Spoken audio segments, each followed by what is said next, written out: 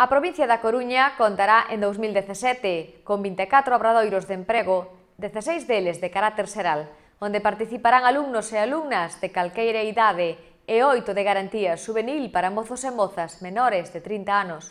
Foron aprobados o Obradoiro de Ribeira e Porto do Son e o de Boiro.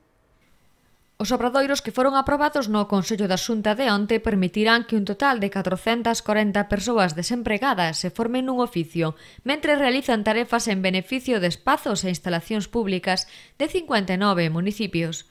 Os participantes recibirán un certificado de profesionalidade con validez en todo o Estado. A duración dos obradoiros erais amplíase de 6 a 9 meses, está previsto que a maioría comecen en setembro. Os obradoiros céntranse na realización de obras ou prestación de servizos de interese xeral e social que posibiliten un traballo, que xunto coa formación profesional para o emprego procure a súa cualificación profesional e favoreza a súa posterior inserción laboral.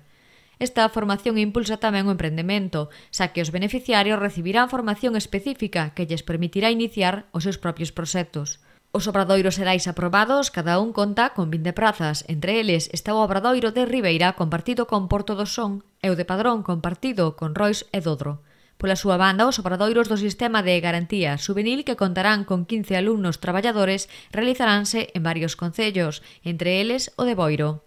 A selección de alumnos e alumnas realizarase a través de oficinas de emprego. Terán preferencia as persoas beneficiarias da Renda de Integración Social de Galicia, mulleres vítimas de violencia de xénero, menores de 30 anos, traballadores que esgotaran as prestacións ou subsidios por desemprego, parados de longa duración, maiores de 45 anos, persoas sen titulación universitaria ou de FP de grau superior e persoas con discapacidade ou en risco de exclusión social.